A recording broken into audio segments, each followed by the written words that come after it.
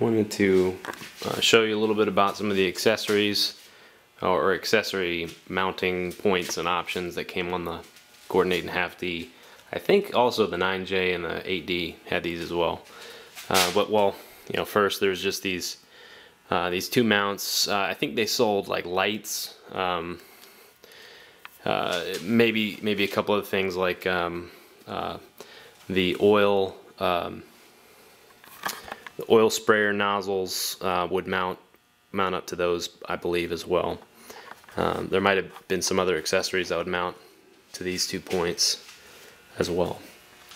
The uh, on the let's see on the other side there's well actually uh, down here this is a um, I guess it's called a treadle uh, hole uh, you know for, for a for a foot operated uh, treadle and basically that would come out come out down here I'm assuming. I haven't actually seen one on a mill um, but I've seen it in the catalog.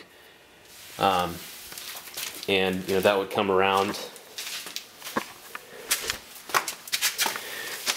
And, and, it would fit into this one as well.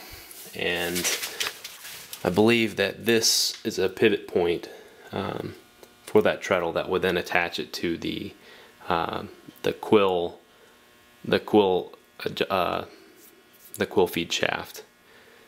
Um, then you got another you know light mounting spot there. Um, I've seen well you know I've got a little plate back there through which you can get to the uh, inside of the back of the machine.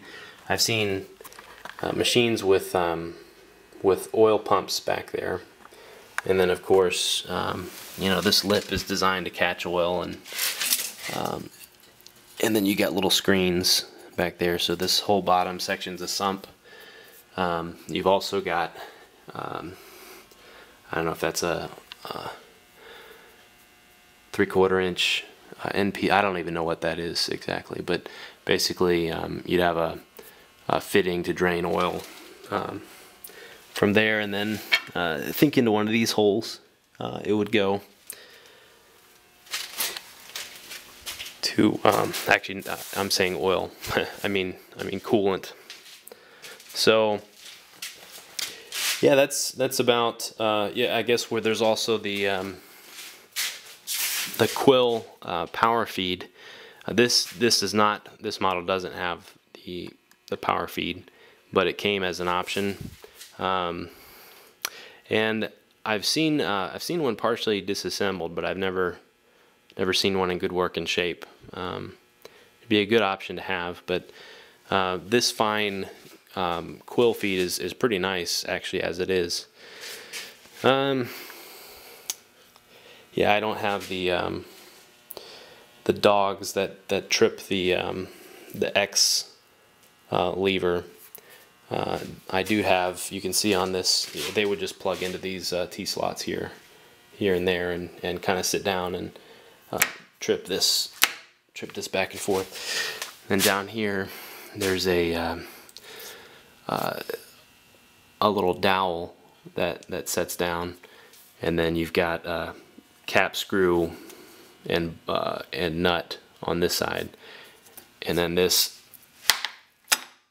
that would uh, trip the um, the Y power feed, um, basically limit travel. Uh, so I gotta gotta pop in another bolt there, um, make some dogs, and uh, fix this up. I gotta gotta get the um, the oil the get oil reservoir thing there. Um, and let's see what else. I've seen some cool like vernier uh, caliper things that, that plug in to this T-slot. Um, I've only seen them in the catalog, but I was wondering if anybody had, had seen one. Um, they look kind of fragile, so I would be surprised if anybody had a set laying around.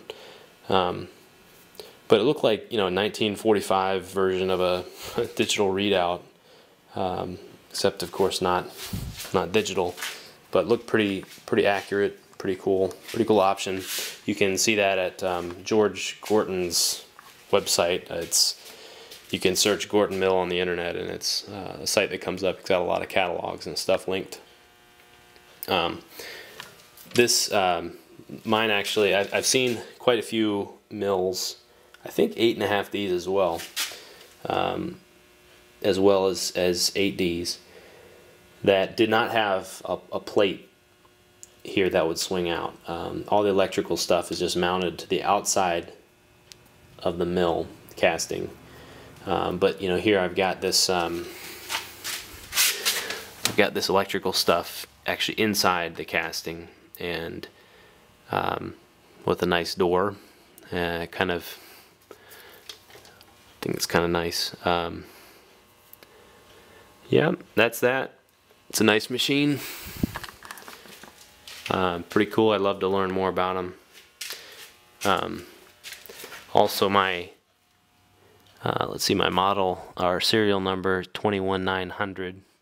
Don't really know what that means. Um, don't know if any of you guys, if that means anything, but I'd I'd love to hear who it went to and what it came with. Uh, if anybody can figure that out. Um, I'm not sure if this is original equipment or not. Um, it looks like it might be, but I'm assuming that this is a 220 to um, 110 converter, um, transformer rather. And uh, I guess that powers the the lamp outlet and the oil pump maybe. I don't know if that was 110 or not. This could have been something that was added later. I'm I'm not really sure. You know, it looks like it, it very well might have been added later. Um, but it's hard to tell when this thing's been repainted, uh, this nasty pea green color. Um,